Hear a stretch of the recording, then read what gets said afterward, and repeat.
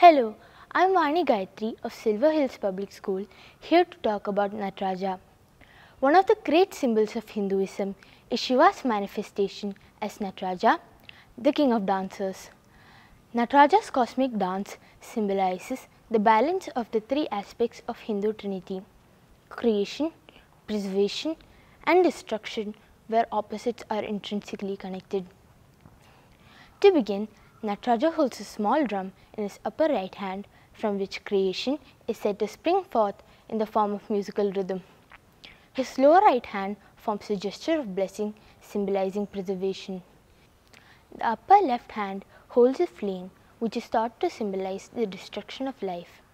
Thus, the hand holding the drum and the one holding the flame balances the forces of creation and destruction. The arm held across the chest gestures towards Nataraja's raised foot as a promise of his mercy and kindness to all his devotees. His other foot rests on a dwarf demon which is thought to symbolize human cruelty and people's lack of respect towards one another.